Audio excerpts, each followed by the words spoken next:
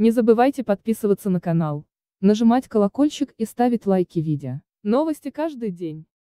Привет, друзья! Сегодня у нас трагические новости. Погибший во время стрельбы в центре Киева ребенок оказался крестником артистки Ирины Билык. Не могу сидеть и делать вид, что ничего не произошло. Убит маленький ребеночек, чудесный малыш, крестной которого я являюсь. Зачем все в этом мире, если так просто убивают людей, деток, в центре любимого города? Мой маленький ангел, Сашенька, прости этим взрослым нелюдям их жестокость, написала она на своей странице в Facebook в воскресенье вечером. Также она обратилась с просьбой ко всем неравнодушным Если будет у вас возможность, мои хорошие друзья, огромная просьба зайти в храм и заказать панихиду за новопредставленного Александра. Понимаю, что многие лично не знали моего крестного сыночка, но это моя личная просьба, чтобы малышу открыть светлую дорогу к боженьке. И я тоже это завтра сделаю, написала Билык. Отметим, трагедия глубоко тронула знакомых певицы, ее поклонников и других пользователей сети. Ирине Билык и родителям мальчика массово пишут слова поддержки. Как же так? В это невозможно поверить, светлая память. Ирочка, какое горе, что творится, Господи? Ужас, какая беда. Это страшно. Какое горе. Малыш. Ирочка, наши соболезнования. Царствие небесное Сашеньке. Ирочка, я узнал об этом вчера. Невыносимая жестокость. Мои соболезнования родителям и тебе. Горе. Страшное горе. Слов нет. Ира, это ужасно. Мои соболезнования Сашеньке, Царство небесное. Ирочка, это ужасно. Наши самые искренние соболезнования. Вам и семье малыша. Лети, маленький ангелок, к боженьке, где всегда любовь. Какой кошмар, пишут в сети. Как сообщалось ранее, 1 декабря на пересечении улиц Льва Толстого и Тарасовской в Киеве неизвестный стрелял по автомобилю Range Rover. Он хотел убить водителя, но попал в трехлетнего мальчика, который находился в салоне внедорожника, сообщили в полиции. Ребенок умер в карете скорой помощи по дороге в больницу. Правоохранители открыли уголовное производство по факту убийства. Погибший младший сын депутата Киевского областного совета, бизнесмена Вячеслава Соболева. Его избрали в Киевский областной совет в 2015 году. Соболев входит во фракцию «Солидарность» и является членом бюджетного комитета. В конце 90-х он основал сеть магазинов «Обжора». В 2010-2011 годах был заместителем главы НАК «Нафтогаз Украины». Кроме Соболева с сыном в машине была супруга политика и ее знакомая, пишут местные СМИ. Неизвестно расстрелял внедорожник, когда депутат притормозил на светофоре. Пуля, которая нанесла смертельную травму ребенку, прошла через лобовое стекло, рассказал собеседник журналистов. Соболев наклонился, а пуля прошла через заднее сиденье и попала в ребенка, заявил он, отметив, что мальчик был ранен в область шеи.